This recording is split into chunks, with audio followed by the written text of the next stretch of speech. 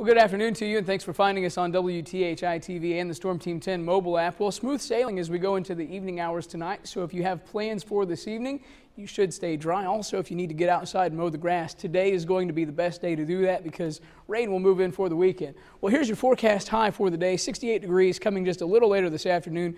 If you notice the sky icons here, we'll be stuck in the clouds, but we'll have some sunshine mixed up in there.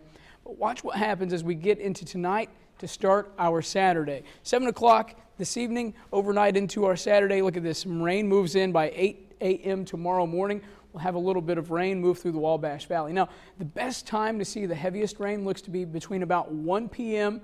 and 4 p.m. Eastern Time. So look at this.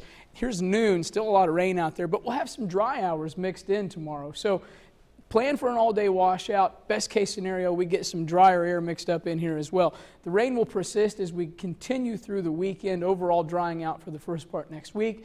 At this point, there does not appear to be a severe risk, but if something should change, meteorologist Matt Brooks will be here for our weekend newscast. And of course, get the latest from Storm Team 10 meteorologist Kevin Orpurt tonight on News 10 First at 5. Thanks for finding us at WTHITV.com.